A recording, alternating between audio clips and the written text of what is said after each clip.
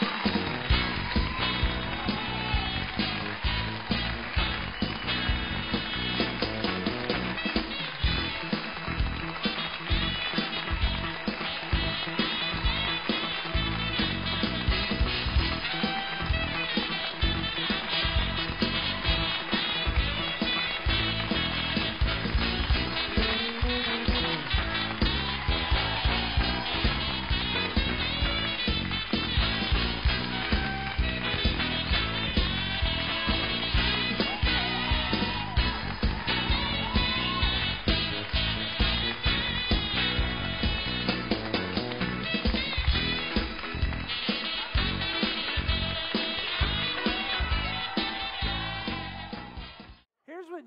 said, and this is where this is where this next step where I want to be. I want us to all be really clear while we're here tonight. Jesus said, "Where two or three gather in my name, there I am with them."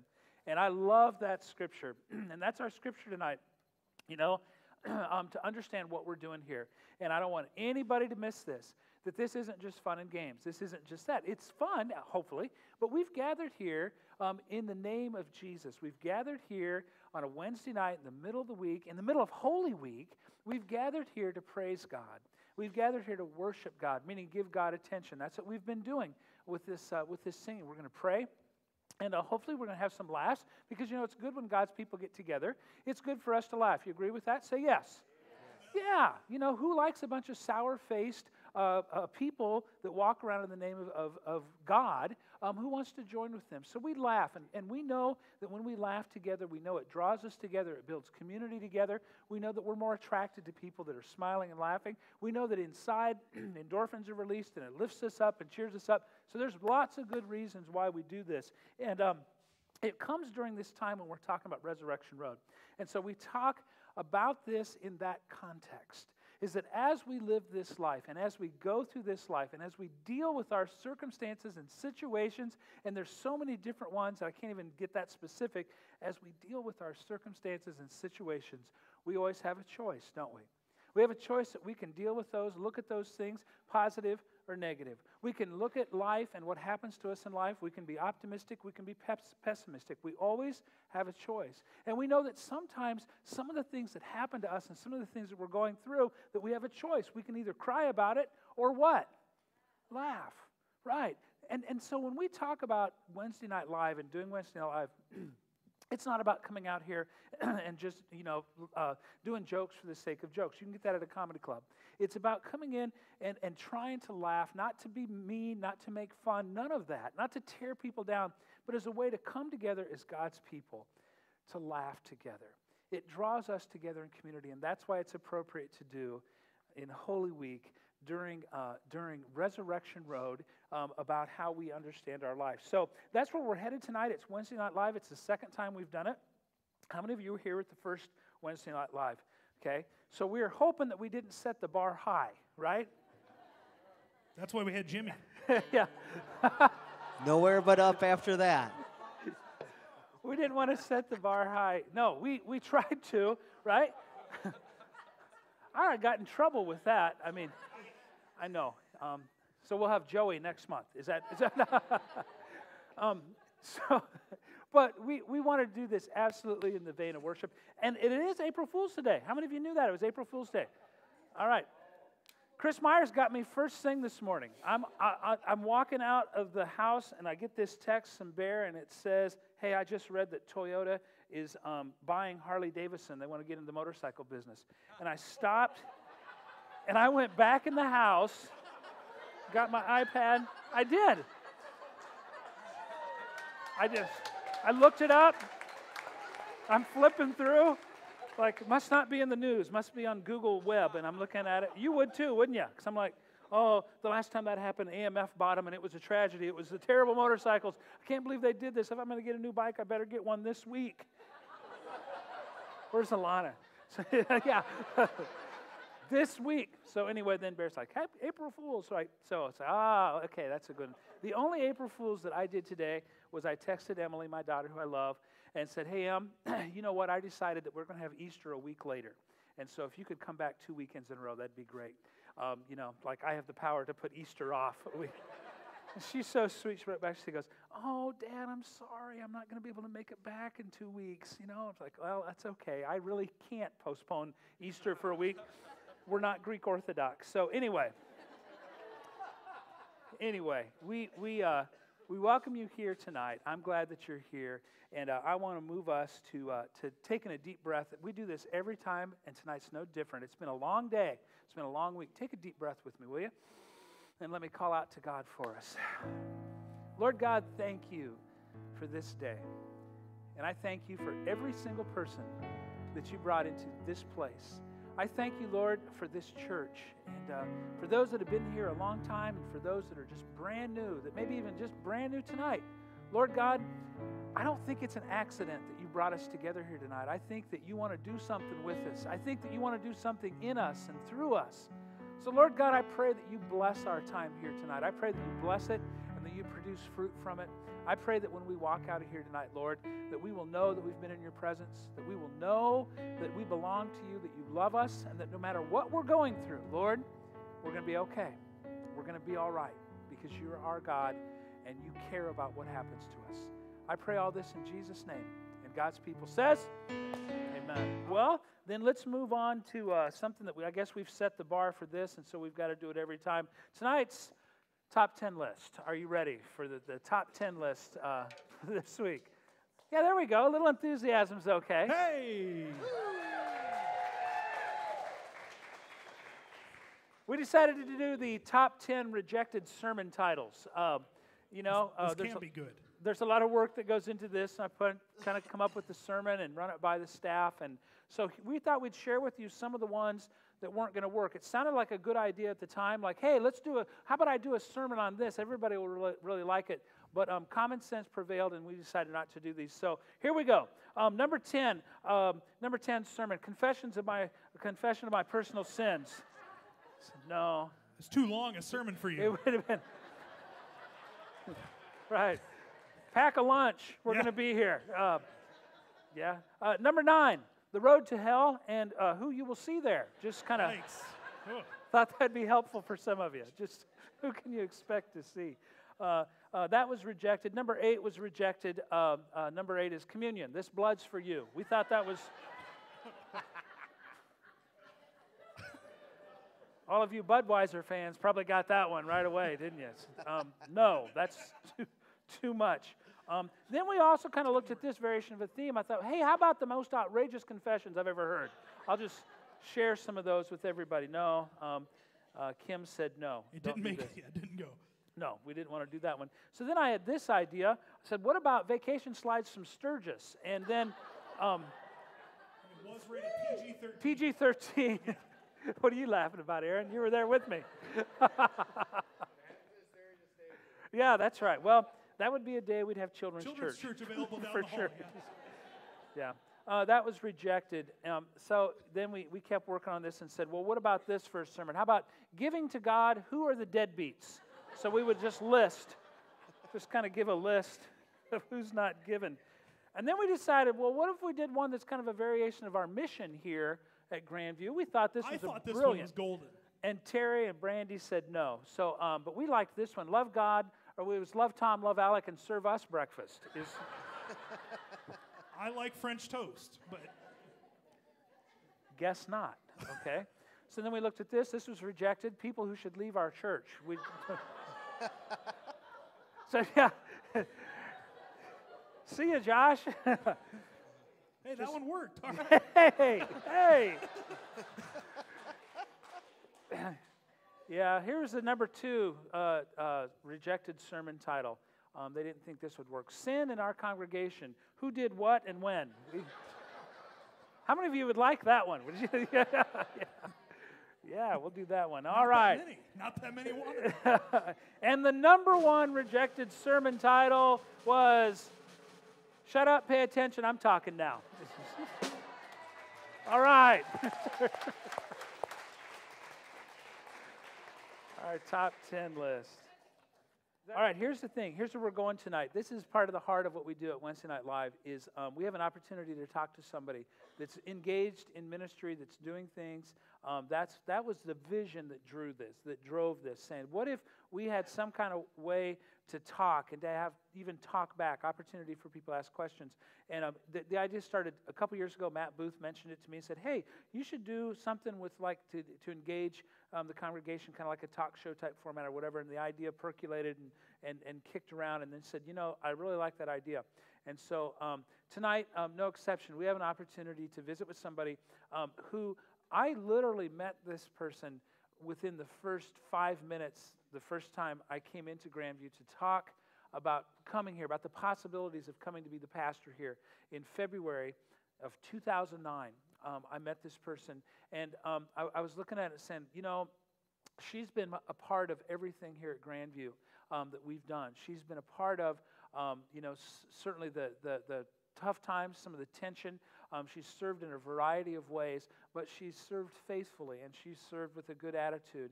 And um, prayerfully. I've also watched this person, I've also watched her grow. And that's one of the joys I get of being a pastor. I've watched her and, and, and I've heard from her about her spiritual growth and how um, she's changed because she's a part of things. And she's very much a part of things. So it's a big honor and privilege to have Dawn Atkins come down here and be interviewed. Dawn, let's welcome her. You're going to sit right here. Wasn't that a great introduction? That was a great introduction from the first 10 minutes. And uh, she was one of the no votes. Like when they asked you, what do you think? Have Tom come? No, No, no, I you was weren't, you weren't, I was not. All right. So you're you got your mic on. Yep. And um, so we always start with the basics so people kind of get to know who you are. Um, they know your name, obviously. Um, so tell us the basics, Dawn, where you Uh-huh. grew up and went to school and that sort of thing. I grew up in Dubuque. I'm from here. My pretty much my whole family's here still. Um, went to senior, went to UNI, became a teacher. I did a couple years in Texas just because I could. You know, it was, Sure. Texas is I love Texas, but my family was here. You were home because you were homesick when you were Yeah. down in Texas. I was. Remind me, you were by San Antonio. I was. Down by San Uh-huh. Antonio. Went down to Texas, Yeah. and, uh, and it's hot down there. It's You hot, Mhm, Okay. and there was no seasons. Yep, I understand yeah. that. Yeah. Um, so um, now you're where? You're teaching where? Table Mound, Table third Mound. grade. How many of you knew that? She's Table Mound. Yeah. Third grade teacher at Table Mound. One of my students is over there, Really? You got some of your students here? That's cool. Amanda. Yeah. Okay, okay. Yeah, that's right. Yeah, Amanda's here. And you're actually masters. You have a master's I do degree have a master's and- in and are teaching? technology. Yep. Yep, um, and teaching. And um, so, um, moving to a more serious question, you know, I'd ask you this, and I asked you about it last night because I think as a way for people to get to know you, um, who's your favorite Disney princess? Cinderella. Cinderella. It is Cinderella. Why? Because when I was little, we had gotten those cardboard books. I don't know if anyone remembers them. The cardboard books, and they were like all the Disney's books. Yeah, like little the- golden book type. Yeah, kind of Yeah. thing. And that we had gotten them in the mail, and I remember that was the first book I got. And I remember sitting down and reading that one with my mom. Wow. Cinderella. Yeah, I still have it. St- that's pretty cool. And she wears the yellow dress, right? No, the blue. Blue. Thank you very much. Little. If you don't have, if you don't have girls in the house, I mean, obviously I don't anymore, or I didn't pay attention. They all have a different color, right? I mean, they all have a different color, right? They like do, yellow, they do. blue, Yeah, she's this blue. and that, right? Blake, what color is it again? Good, good, good answer, Blake. yeah, way to, way to play your man card. Okay. Um, that was a trick question for Blake, Gene. Like, if he would have said, "What color is her blue?" Blue. we would have said, "Hey." So anyway, um, He has So- a sister. that's true. That's true. Is Emily here tonight? Emily is here. Okay, good, good. Well, so that's good to know. I think that. th- Did you take the quiz online though? Some people take the quiz online. No, I did not. Has anybody taken the quiz on Facebook? You're, who, which Disney princess are you? I have. yeah. good work, Alec. Who'd, who'd you show up as? oh wow. Wow. Okay. Well, I'll keep an eye on the pumpkins and the mice. And uh, so, when you're when hey, when you're not working, when you're not teaching school, and when you're not serving at Grandview, because you do a lot of things here at Grandview, what are some of the things you like to do? Um, I've got some nieces that I spend a lot of time with. Actually, we got a picture of them Yeah, right there. Yeah, there they are. Um, They live in Maquoketa, so then I get them like probably once a month at least. They spend the weekend with me. Yep.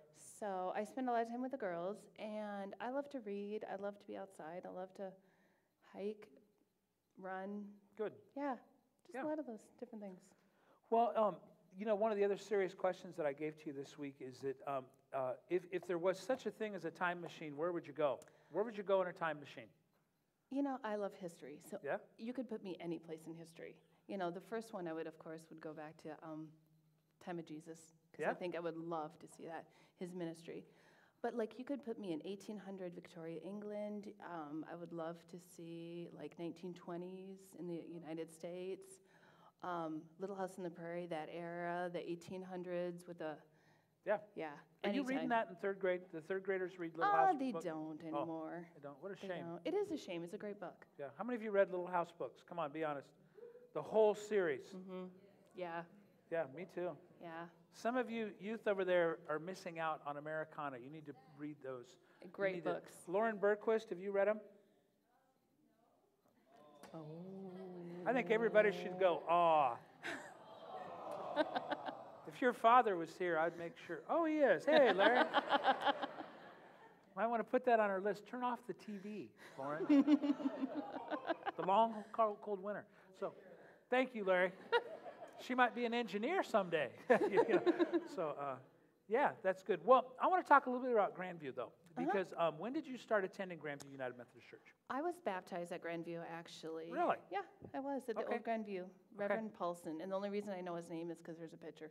Yeah. Yeah. So Reverend Paulson was, and my parents and my grandparents and my great grandparents, they all grew up with Grandview, so longtime members. We, so we did a little bit when I was younger, but I really started about 12 years ago coming to church. Okay, so right before made the move out here. you Yeah, were- right you before got the active. move. Yeah, not even active. I would say once or Christmas every once in a while. So you were you were a submarine member, one of those that surfaced at Christmas and Easter. Very just much.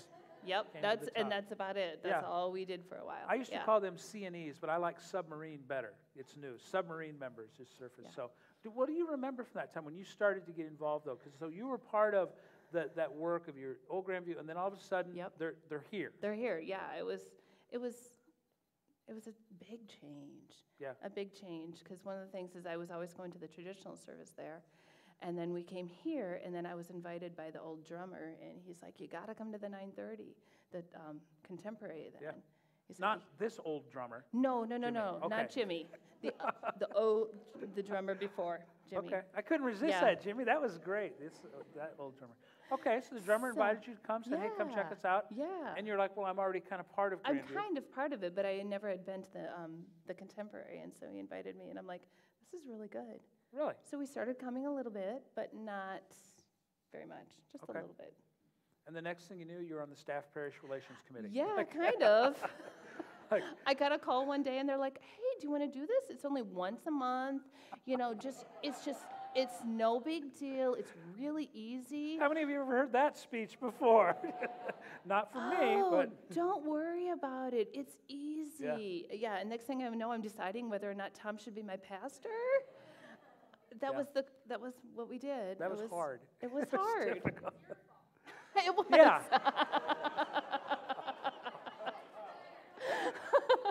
Where's that list of top 10? People who should leave our. yeah, no, that, no, that's true because all of a sudden you found yourself Yes. involved, Yep. and, and it was a different time for Grandview. And so Yes, you were involved in some pretty big things. Um, in the staff parish, I told you there was going to be a little education here. Staff parish, um, at that time we didn't do the single board, and so it was a standalone group. And decided things about staff and pastors and this and that. And uh, so you were part of that. And as Mm-hmm. I said, that's where I, met, I, I first met you. Um, since that time, though, you've served, that was in 2009. Yep. And, and so since that time, you've served in several different ways here at Grandview. I mean, think about some of the Yeah, ways I you've mean, served. I've been in the nursery. I've been in children's church. I was at an education advisory team. Right now, I'm a part of the youth group. Yeah. And then um, I'm right now on also ad board. Yep, So one of our administrative board leaders. Yep, and uh, you have to work with, yeah, yeah, isn't that cool? And of course, that's part of, partly why um, I wanted you to be an administrative board member because we have people on the ad board that are engaged and involved and know what's going on, and Mm-hmm. people that are that are influential. Um, meaning that um, you know people listen to you and follow you, and Gabe and Corey follow you They no matter do. what, right? yeah, they always listen. Yeah. That better be your answer. yeah, so I mean that's why you're on there. Um, and so um, I've certainly watched that Dawn in all the different ways that you've served. And some of you, some of you, have you ever served with Dawn? I mean, you've had a chance to serve with her on some different things. Sure, sure. Now let's vote if, whether you like her. No, we're not going to do that. We're not going to do that. We're just teasing that. Okay. I Kim, want. li- Kim likes me. Yeah, Kim likes everyone. she even likes Aaron. Not you, Bear. Sorry, I misspoke. Um, here was a question we talked about that we thought would be fun, a fun question. And that's that question if you knew that you would not fail, and you knew that we'd have all the resources that we'd need people, money, whatever, what do you dream about? What do you dream about Grandview United Methodist Church? What would you do? Knowing we wouldn't fail. There's two things that we had talked about. One was the coffee house. I love the idea of the coffee house. I mean, it's not just for the youth group, it's for everybody. I mean, it's a great jo- time. There's no place in Dubuque like it. You know, what a chance to do mission in Dubuque. Yeah. You know, what a chance to have a environment where you can go with your kids and you know that it's going to be a safe and oh, I don't know what the word, I mean, it's just a safe and uh, atmosphere. And you don't have to worry about what's on the radio and you don't have to worry about what people are doing. Right.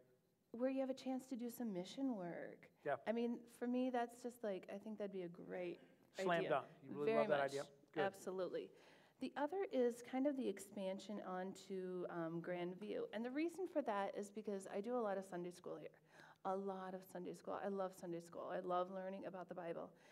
And we are jam packed on Sunday mornings at Yep. 9:30. Yep.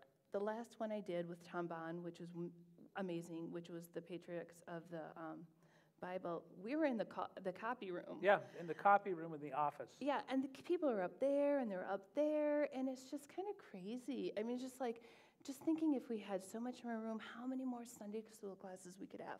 And not just for kids, but for adults. Because, like Yeah. I said, I love them. I love Yep. going to them. I le- learned so much from them. It- you know, what, what do you think? Pretty good goals? You guys like those two goals? The Christian Coffee House? Mm-hmm. and the expansion, you know, the expansion of our building, which is something, you know, that we've, that we've dreamed about. Um, and, you know, they're almost kind of related. I mean, when we talk about space, that's always been the thing with any church is, is when you outgrow your space, you, you only have two choices. You can, you can decrease people or increase space. And so, of course, the coffee shop, you know, doing a coffee house wherever that would land is not about selling coffee. It's about community. It's what you said about providing safe space. But it also, you know, can be a short-term fix for some of our space needs. Yep. And um, so hopefully, you know, God blesses that is, is what we're after. You know, the last thing I wanted to talk about is, and as I said, it's, it's as much as you're comfortable talking about, Dawn. But um, as I shared, as I'm sure you were listening, because I don't think you were nervous. No, no, not at Yeah. You weren't I- nervous yeah. at all. Lauren was comforting me back there. Really? Lauren Berquist? Yes. Who doesn't read books? Yeah. Lauren? That...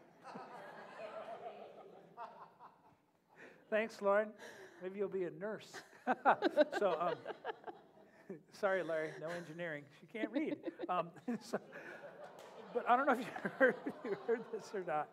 I don't know if you heard about, but I talked about, you know, that, and that's personal and honest and, and sincere about your growth, about watching your growth. Yeah. And I think that's powerful, not just for the youth, um, for the youth to know that, but for everybody else. And so, as much as you're comfortable sharing some of that about your journey, a little bit of your journey, where you've been, Sure. Um, if you would have asked me about 10, 12 years ago if I was a Christian, I, my answer would have been yes, I'm a Christian. I believe in Jesus, I believe in God, but you know, that kind of sums up the whole answer. right? Th- I mean, that was it. Like, there was nothing else to that answer. So when you ask that question, who is Jesus, to me, that was my answer, literally. He's the Son of God, and there was nothing else. Um, and then my answer's changed now. It's just the definition of who is Jesus. He's my Savior, He's my comforter, He's my guide, He's my teacher. I mean, all these things have changed. Uh-huh. Um, and part of the way they changed was um, my mother got sick. And uh, May of 2005, we found out she had non Hodgkin's lymphoma. And when you find out a loved one is sick, your life changes in an instant. Yeah. It does. And the one thing I needed was God. And I mean, I knew, I mean, He was always there. And I look back and I always see Him in my life in the past.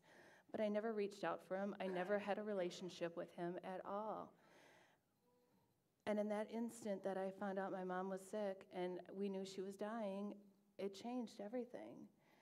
And I opened myself up to God and I began a relationship with Him that has just all, it's evolved in the past 10 years.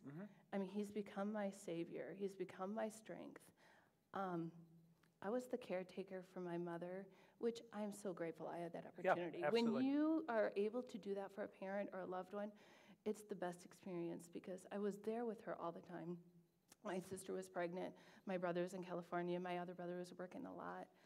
And I was just, it was just like the best time, but God saw me through that. Yeah. I mean, that his strength, because I, there's no way I could have done that on my, by myself. You know, being a caretaker is difficult. Yep, I mean, I agree. say the I- least. Yep, and some, You've some done people know that. Yep, some people know that, um, Yeah. doing that. hmm Yeah. So then it's just changed and it's involved. And part of that I credit to you, and I've, I've told you this before. I credit this to you because I made that change with God and my relationship with God early on when my mom was going through it, but it wasn't enough for me. Uh-huh. I made that change, and then I started coming to church a lot, and I was active in church, but it still wasn't enough. And you talk about being fed, and you talk about if you're not fed, it can't sustain you throughout the week. And I remember t- you talk, several times you've said that. Like, once is not enough. Right. You can't come to Sunday and just be here on Sunday and be like, oh, that's it. I, I'm going to have this great relationship with God. One of the youth group, one of the girls, we have um, discussions a lot with the kids, and they say a relationship is, because they have a lot of relationship issues. Imagine that, they're in middle school. Really? Really, yeah, a lot of that. And so one of the girls is like, you know what? If that person is not giving you, putting any effort into you, putting anything into your relationship, it's not a relationship. It's just a one-sided deal.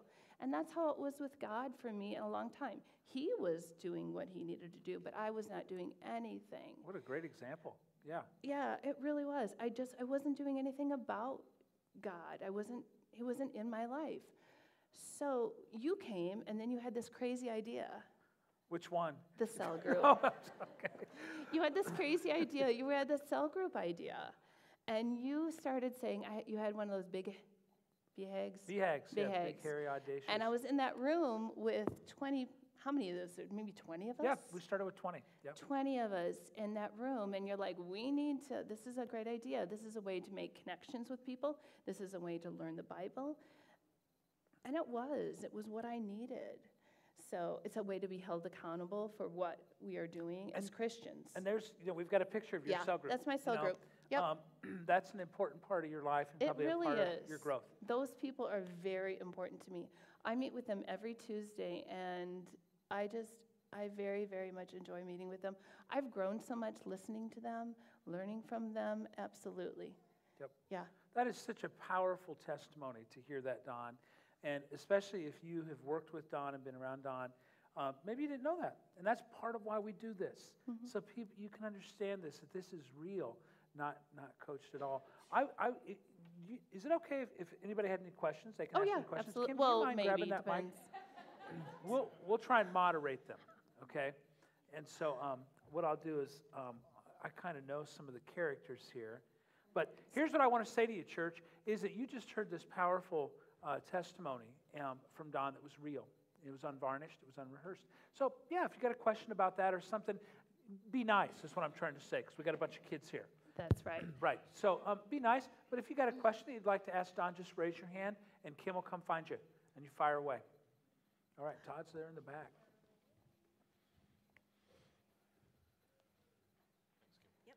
Since we have a lot of adults here tonight, Dawn, what do you see as the biggest need for the youth right now, and how can we address that as a congregation? We need more help with youth. Um, I, um, we have three of us that are running the youth group now, and all of us, three of us, we love it very much. We love being with the kids. I can't tell you, I've learned so much from those kids. It's amazing, but we need more help. We need a, definitely another female in there. But we would also eventually, we would like to break the high school off. That's one of our goals, is to have a high school and a middle school because they don't mix very well sometimes a lot of times they Yeah. don't mix very well. Oil and water. sometimes. They are kind of like oil and water. I mean, they really are, especially those young ones when they come in in the sixth grade and then you got the 10th grader. It's just, it doesn't run. So we're really looking for more help with the youth that just want to be, I mean, they're great kids. We have a lot of fun. I- Like I said, I have learned so much from those kids.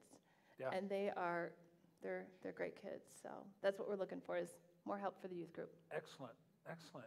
Anybody else have a question they want to fire up here, at Dawn? Lois got one. See, I see your hand, Will, but I I, also sneak in my see Lauren- exercise when I see can. Lauren grinning, so I'm not sure. So, eh, uh, Dawn, I'm asking this question uh, because I've heard my own daughter ask, ask me this question, and that is, is how did you develop your relationship with God? Basically, I just, I mean, I had to surrender. I just had to reach out to him and say, Here I am. I mean, this, and then I had to start having a conversation with God every day, multiple times throughout the day. And that's kind of where it started, is just op- me begin, opening up, me not, or me just praying, very much praying. And that's what I've talked about with a lot of the kids is just start it with just praying. Have that open line of communication. Sure. So in other words, it's not complicated. It doesn't take a rocket scientist. You, No. you don't have to be uh, like have the Bible memorized. No. Um, you don't have to have all that stuff. And I know that you guys teach that to Mm-hmm, the kids as well. And, and I, I know Gabe and Corey, and I know where their hearts are. And, um, you know, church, I got to tell you, if you don't know this already, is that God has blessed us with three adults that are willing to be here every Wednesday and to, to spend time with our youth. And I, and I like to tease the kids and, and, and have fun with the youth whenever I can. I don't get to spend time with them that much. We have some wonderful, awesome youth here. We do. And part of that is to be credited, yes, to their parents, but the three of you, the three, these three people spend time with the kids every month, every week,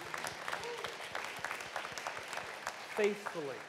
They come faithfully, um, and uh, you know, setting a model for our youth and setting a model for how to serve God um, that is uh, uh, commendable. It's bright and shining. So, um, well, here's we're, we're about out of time. Here's what I would like to do. I'd like to. Will, do you have a good question? well, okay. How do you feel about Corey's jokes? Oh. no comment. No comment on Corey's jokes. No. Okay. All right, Will LaFoe. Who is your favorite person in youth group? Oh. No comment. That's like, Will, that's like asking your mom who her favorite kid is.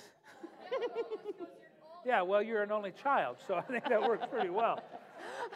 What I want to do is, I want us to pray for Dawn, and, uh, and um, then, then we will thank her, and then we're going to stand up and uh, uh, have a benediction that we're going to sing. So, Dawn, let, let's all be in the attitude of prayer, please. Lord God, I thank you for your child and for your servant, Dawn. I thank you that, that she has been open and that uh, she surrendered and that you've been at work through her, through her cell group, through, through Sunday school, through Christian concerts, through her, through her nieces, through the youth. Lord, you've been using all these different means to raise her up and to, to get through to her, and, and it's, it's happening. So I thank you, Lord, for her witness. I, I, I pray that you continue to use her, work through her, protect her, send your angels to surround her wherever she goes. I pray this in Jesus' name. And all of God's people say, Amen. Amen. All right. Let's uh,